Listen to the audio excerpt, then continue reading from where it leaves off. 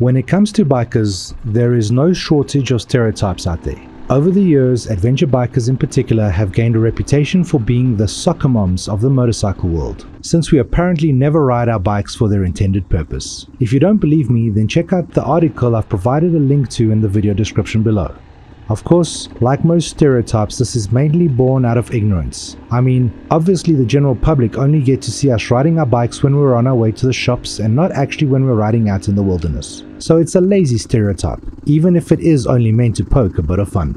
Regardless, there are definitely certain types of rider that I've encountered during my years as an adventure rider. Odds are that you have or will encounter them too. So just for fun, here's a rundown of no less than 20 adventure biker stereotypes. Number 1. The teacher. First up is the guy who just wants to teach everyone everything. To be fair, this is the stereotype I probably fit into if any. This guy is so passionate about adventure biking that he'll spend hours lecturing you on the tiniest details, whether it's regarding your technique, the best routes, or any kind of adventure bike ever. He's well meaning and very informative, if a little overbearing at times, though I try not to be.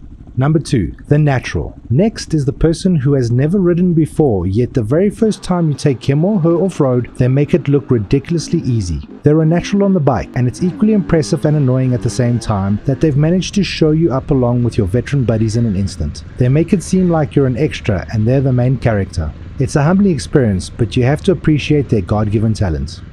Number 3. The Measurer. The Measurer is a guy who lives by his odometer. He can tell you at the drop of a hat how many miles or kilometers he's done on his bike in total, and he will tell you often. Expect to be asked the question as well, and whether you know your own mileage or not. If it's more than his, you'll probably have to deal with his passive aggressive nature for the rest of the night.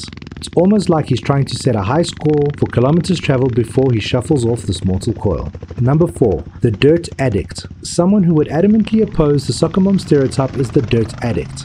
This guy believes that only dirt will ever touch his tires and he is insulted at the suggestion that his bike will ever ride on tarmac with the commoners. A dirt addict will plot the most outrageous routes just to avoid the blacktop. His comfort zone is off-road and that's where he's staying.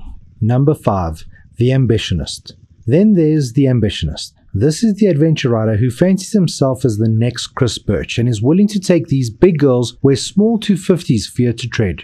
Sometimes his ambition pays off and will leave you amazed. A lot of the time, however, his courage is exposed as foolishness, and you'll be the one helping to pull his bike out of a hedge or ditch. It's always fun to have someone like this around though, and they tend to push your limits to make you better too. Number 6. The Easy Rider. Of course, not everyone is an adrenaline junkie, and the Easy Rider is someone who rarely, if ever, strays off the tarmac. They do have a sense of adventure, but they also appreciate comfort, and if there's a long, flat road where they can cruise to their destination, then there's no need to think twice. Also, why not use your adventure bike to nip to Starbucks if you want? It's still the best way to get there. Number 7. The Boaster. You'll find this kind of person in all walks of life. In terms of adventure riding, they're the ones who brag about how good they are or how much experience they have. Yet, when you actually go out riding with them, they're the one who ends up holding up the group because they have no idea what they're doing. There's no sense in arguing with their delusions. All you can do is shake your head and chuckle amongst yourselves. Number 8. The Salesman. Similar to the Boaster, this rider will spend ages selling you the idea that their favorite brand of bike, be it light or heavy, two stroke or four stroke, is the best only to end up falling on their sword when you find out they've never even tried the alternatives. The bike they have chosen is the absolute mecca for adventure riding. It's like banging your head against a brick wall trying to convince them otherwise. Number 9. The Excuse Maker. Then there's the biker who just absolutely sucks at riding but will never admit it. It's always either the tires, the suspension, the hangover, or a multitude of other excuses as long as you aren't questioning his ability. Of course, he rides like Graham Jarvis when you're not around. Didn't you know? Only he doesn't, because all your friends and colleagues have commented on how he sucks too. Not that you don't admire his effort and tenacity though. Number 10. The Lone Wolf. Some people just prefer riding alone, and while there's nothing wrong with that at all, the lone wolf is a rider who's notorious for going off on his own and waiting for no man, even when riding as part of a group. This can be frustrating, especially if he's the one holding all the food and essential supplies. However, you should know not to leave them with him by now because he does this every single time. Number 11. The Retired Racer. Every now and again, you might come across an older rider who everyone knows used to race, despite it being over 20 years ago. because he loves to remind people about it. Not just with his words either, he'll try turning everything into a race and compete against you just to prove that he still got it. You can either indulge him or ignore him, but there's no dampening his competitive spirit.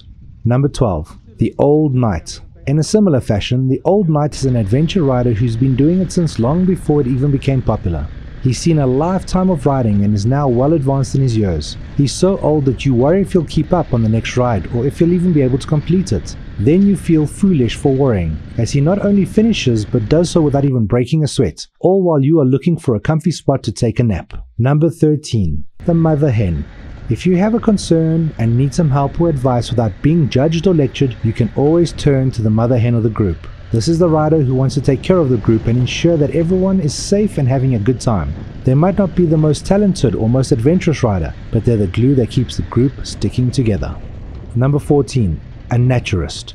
The next biker is the epitome of the phrase, a good worker never blames his tools. The naturist believes that everything is down to the rider and has nothing at all to do with which bike they're riding. Their mindset is all about the adventure itself and being in control. Probably not the best person to turn to if you have an issue with your bike, but you can most certainly learn a lot about body positioning and technique from them. Number 15. The Mechanist. The opposite of the naturist is the Mechanist. For this guy, it's all about the machine. They are likely to have a great depth of knowledge about bikes and can talk endlessly about tire choices, suspension setup, or any aspect of a motorcycle. Their experience centers entirely around what they're riding, fully believing that the best and usually most expensive gear makes them a better rider. Number 16. The Gadget Man. Closely associated with the Mechanist is the Gadget Man. As his name suggests, the biker just has to have all of the latest gadgets and gizmos to be satisfied and confident. He has a lot of faith in technology and will probably be lost without it. Again, expect lots of up-to-date knowledge from this rider, but be prepared to sift through a lot of excess information and tools you probably will never need. Number 17. The Lifter. The Lifter is probably the bodybuilder or gym goer of the group. They favor heavy bikes but will never admit that it is, at times, actually quite heavy. After all, they can't show any weakness and you better not offer to help pick up their bike after a fall. They've got this. They've always got this. Still, at least they'll never refuse to carry your stuff if you ask them. Just be prepared to be mocked by them for not carrying it yourself. Number 18. The Storyteller. Gather around the campfire and come listen to this rider who is full of tales of his extreme adventures. He is the storyteller. Somehow, his stories all seem very familiar, and that's when you realize it's the same story he's told a thousand times before, just with extra details that make it seem more intense yet unrealistic. I guess we'll never know what really happened on his trip to Timbuktu. Number 19. The Upgrader. Next comes the guy who is never satisfied with his ride. He always has to upgrade to the latest model as soon as it's launched since he believes he has outgrown and hit the limits of his current model with his incredible skills. Of course, we all know that his expensive habit is hiding some sort of insecurity, but it's great for you as you get to see the newest hardware up close. Number 20, the reckless enthusiast. And finally, we have the reckless enthusiast. This is the type of guy who has just learned power sliding from the teacher of the group and now uses it on every single corner, showering you with pebbles, rocks, and debris in the process. You have to admire his enthusiasm and excitement, but I swear if he does that one more time, I hope you enjoyed this tongue-in-cheek style of video. If you did, let me know by hitting that like button and leave a comment as to whether yourself or any riders you know fit into any of these stereotypes. No judgments will be passed here, it's just a bit of harmless fun. Remember to subscribe if you haven't already and turn on notifications. I've got some more information and entertaining videos on the way soon, so make sure you don't miss out. As always, thanks for watching and I'll see you next time.